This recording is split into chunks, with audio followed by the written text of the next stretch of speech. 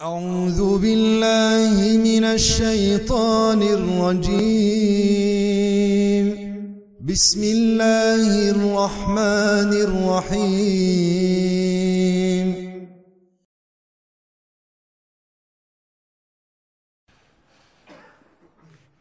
إن الحمد لله نحمده ونستعينه ونستغفره ونستهديه ونعوذ بالله من شرور أنفسنا ومن سيئات أعمالنا. من يهده الله فلا مضل له ومن يضلل فلا هادي له. وأشهد أن لا إله إلا الله وحده لا شريك له وأشهد أن محمدا عبده ورسوله. أرسله الله بدين الحق ليظهره على الدين كله وكفى بالله شهيدا. يا أيها الذين آمنوا اتقوا الله حق تقاته ولا تموتن إلا وأنتم مسلمون. يا أيها الذين آمنوا اتقوا الله وقولوا قولا سديدا. يصلح لكم أعمالكم ويغفر لكم ذنوبكم ومن يطع الله ورسوله فقد فاز فوزا عظيما.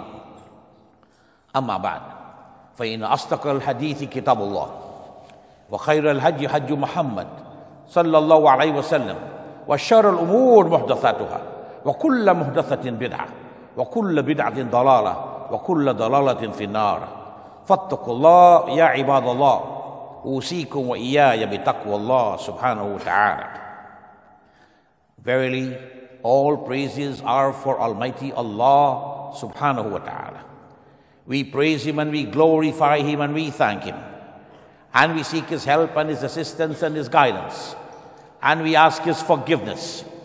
And we seek refuge in Allah from the evil of our hearts and from the wickedness of our actions. Whomsoever Allah guides, there is no one to misguide. And he who is led to go astray, there is no one to bring back on the right path. I testify to His oneness that He, Allah subhanahu wa ta'ala, is one the absolute one. And I further testify that Muhammad sallallahu alaihi wasallam is his final and last messenger whom he has sent with guidance and with the religion of truth that it will prevail among all other religions. And Allah is sufficient as a witness to that. Allah the Almighty says in his holy book, all those who believe, or believers, fear Allah subhanahu wa ta'ala as he ought to be feared and do not die except that you die in a state of Islam, submission to the will of Allah as Muslims. And Allah further states, all those who believe, fear Allah and speak words of righteousness. He will direct you to do good deeds. He will rectify for you your deeds and forgive you your sins. And whomsoever obeys Allah and His Messenger, verily he will gain ultimate salvation. As to what proceeds today, on this blessed day of Jummah, in this sacred month of Dhul Qa'dah, let it be known, O gathering of Muslims, that the best of speech is the words of Allah subhanahu wa ta'ala. And the best of guidance is the guidance of Muhammad sallallahu alayhi wasallam. And the worst of affairs are those that are innovated in the religion. And every innovation is the misguidance. And every misguidance leads you to the fire of Jahannam. So revere Allah. Fear Allah subhanahu wa ta'ala by putting a barrier between you and the wrath of Allah.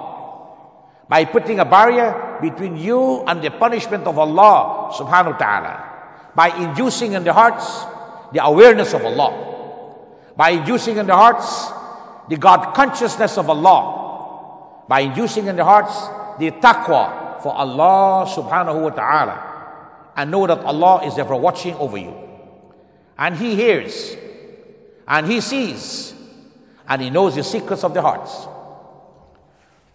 O gathering of Muslims, verily we are in the months of Hajj.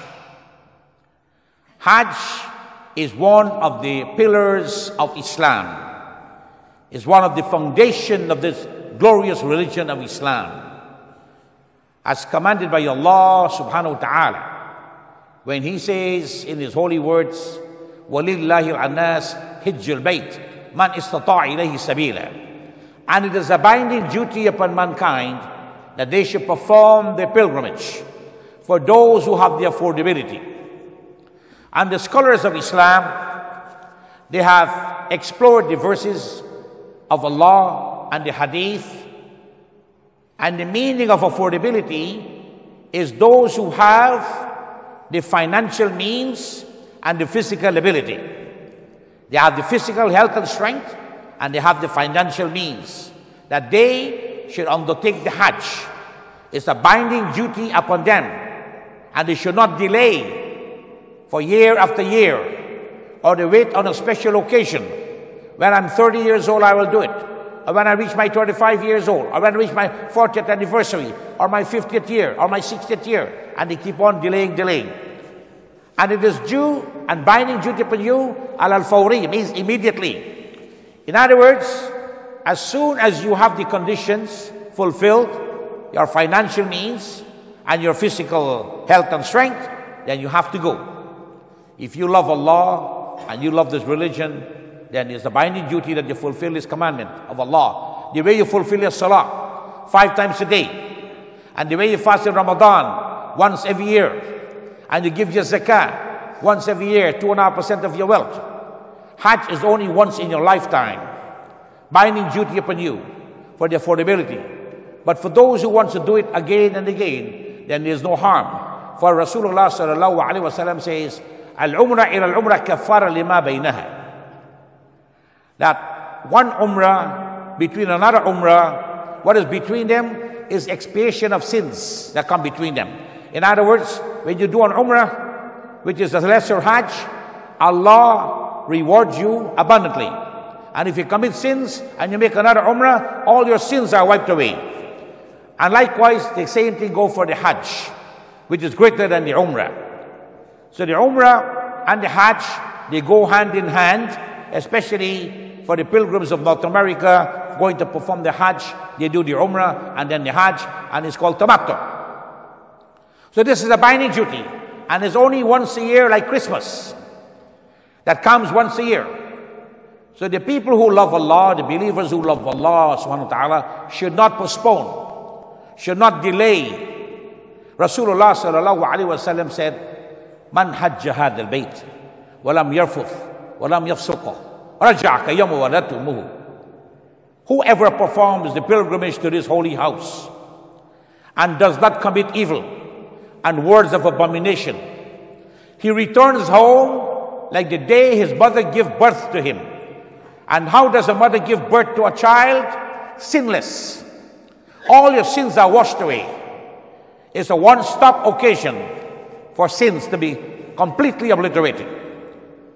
If you want your sins forgiven, and you make the intention, you go for Hajj, and you do the Hajj according to the Sunnah of Muhammad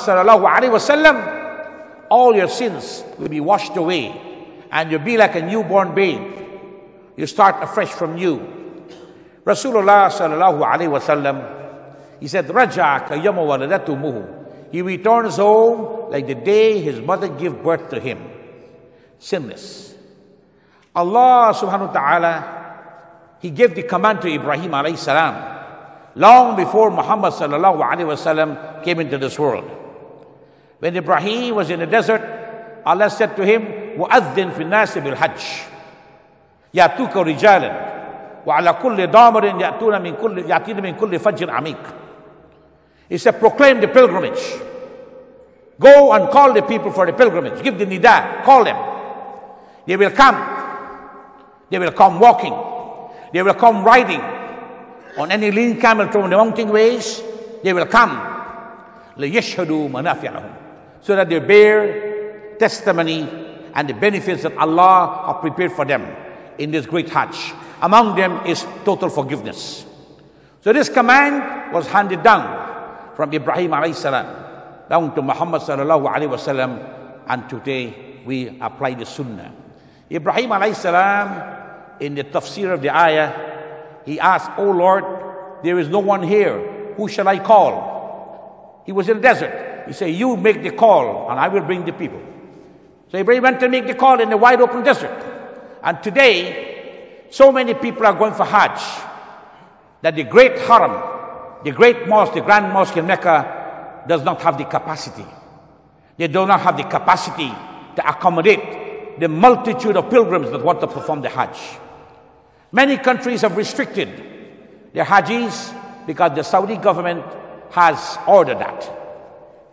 Countries like Indonesia, with over 220 million, largest Muslim populated country in the world, Indonesia. If they should give them an open invitation for Hajj, over 20 million will want to come for Hajj. Pakistan, with over 150 million Muslims, if you give them an open invitation, over 10 million will want to come for Hajj. India, with another 160 million. Lots of pilgrims want to come for Hajj, over 10 million will want to come. And so, like Egypt, and so, like Bangladesh, with over 100 million of people, and the government only allowed them 200,000 each. Yet, 200,000 for India, 200,000 from Bangladesh, 200,000 for Pakistan, 80,000 from Egypt, and yet the Haram does not have the capacity. It was the nida of Ibrahim alayhi salam. وَأَذِّنْ فِي النَّاسَ بِالْحَجِّ يَعْتُكَ rijal." Kulli kulli fajr. Proclaim the pilgrimage. They will come to you. Through the mountain ways, walking and riding on any lean camel, they will come to you. Today, the government of Saudi Arabia have expanded the Haram. And right now, the construction is going on. This Haram, the Grand Mosque, can only hold about 1.5 million. They're expanding to accommodate 8 million. 8 million. So in a few years, they will relax the quota and allow more people to go for those who want to go. And they're building brand new hotels, providing all the facilities for the benefit of the pilgrims so they can perform their Hajj in ease and in comfort.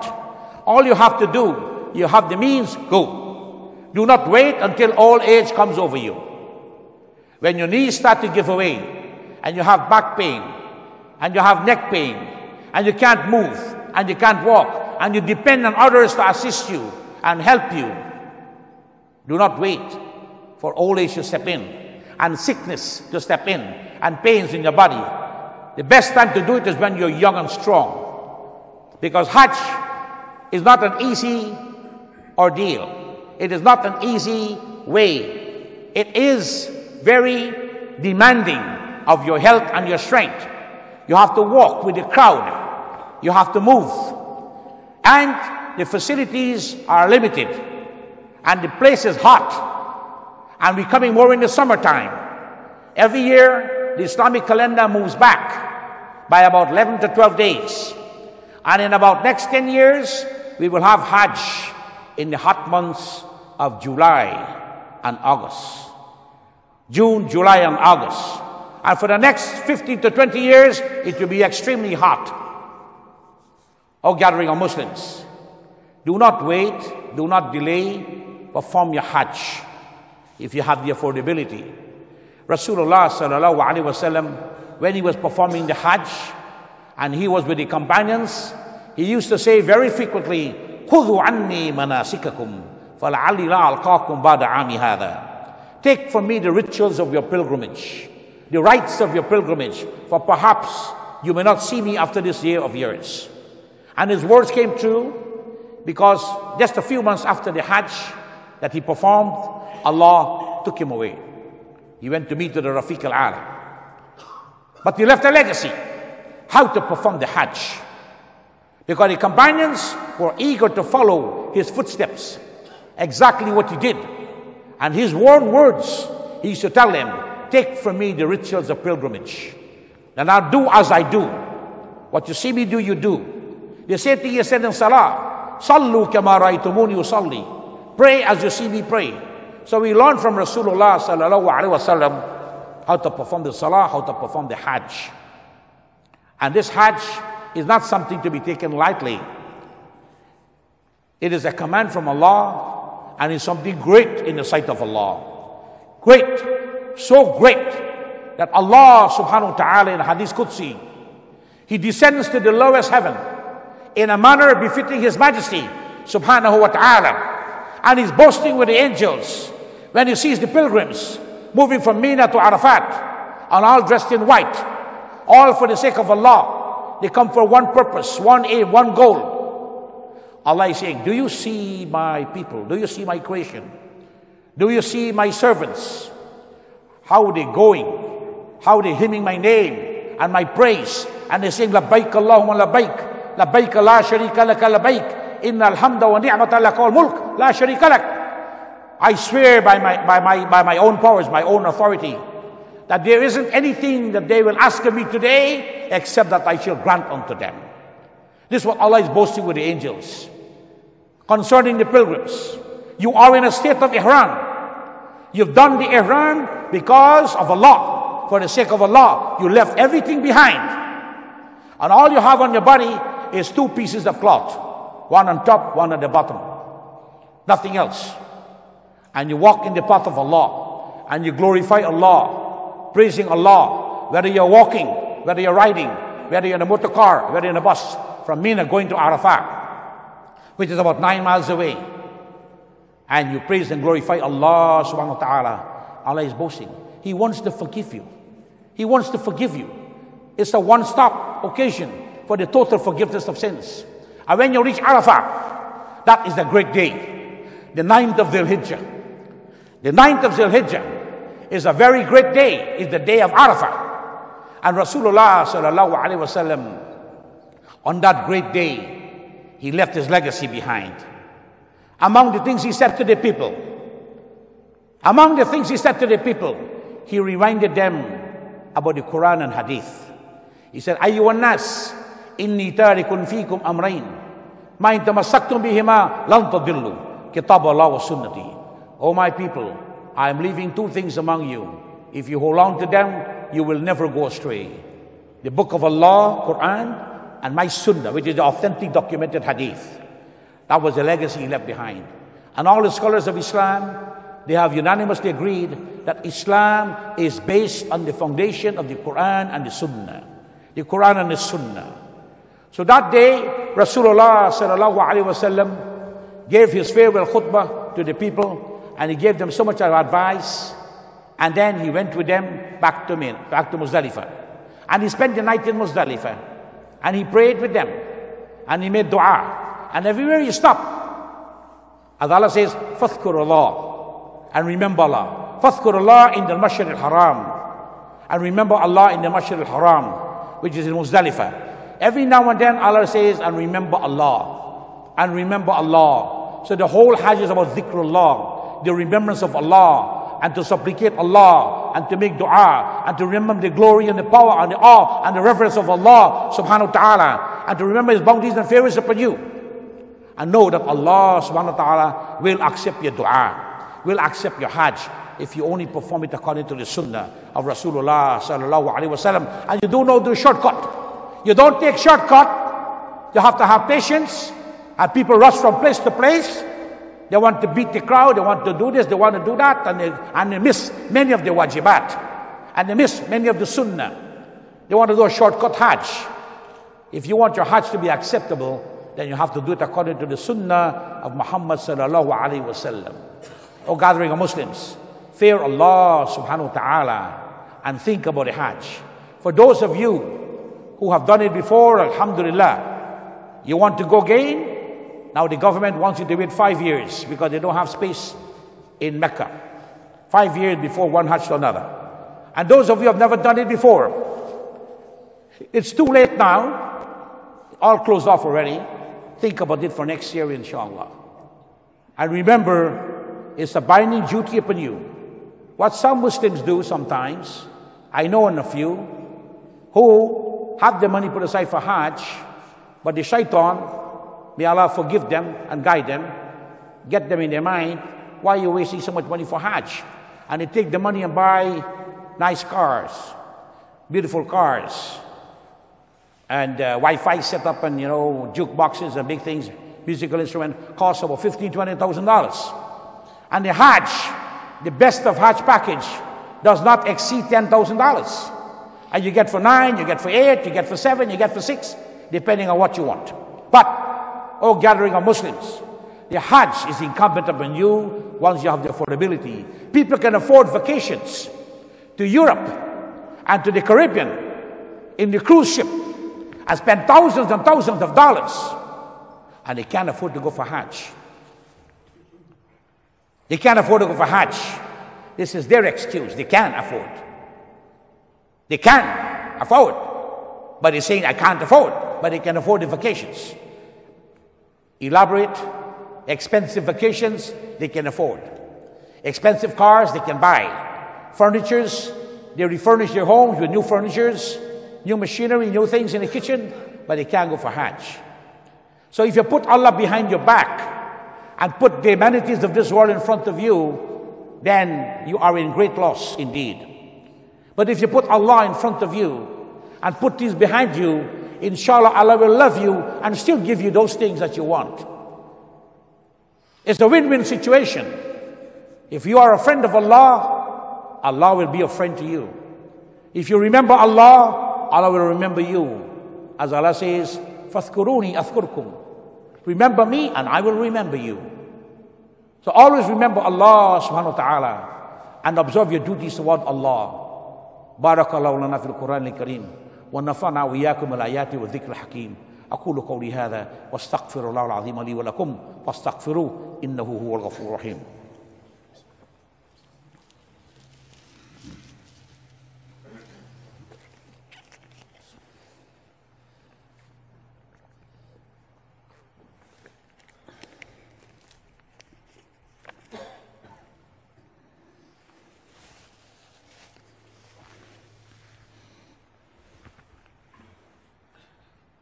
الحمد لله حمدا كثيرا طيبا مباركا فيه احمده سبحانه وتعالى واشكره واشهد ان لا اله الا الله وحده لا شريك له واشهد ان محمدا عبده ورسوله وبعد O gathering of Muslims Hajj is not an option for those who have the affordability it's a binding duty it's fard and is one of the great pillars of Islam from among the pillars that is mentioned in Bukhari and in Muslim and mentioned in the Quran. And when Rasulullah sallallahu alaihi wasallam was met with Jibril alayhi salam, he said, Ya Muhammad, akhbirni mal Islam. He said, Oh Muhammad, tell me, what is Islam? He said, Islam, shahadatu wa la ilaha illallah, wa iqam salah, wa itai zakah, wa sawm Ramadan, wa hijjul baytullah al-haram, man istata ilay sabila. Islam is to declare the Shahada. Ashhadu la ilaha illallah wa ashhadu anna Muhammadan abdu rasuluh. And to establish prayers five times a day. And to give the zakah. And to perform uh, fasting in Ramadan. And to perform the Hajj for those who have the affordability. And when he said that, Jibreel confirmed and said, Sadaqta, you have spoken the truth. So this is a confirmation from Jibreel that these are the, the foundations of the religion of Islam. He did not say six, he found five. And we need to do the last one, which is not really the last one. It come anywhere between. They are not in an order. Each one is independent.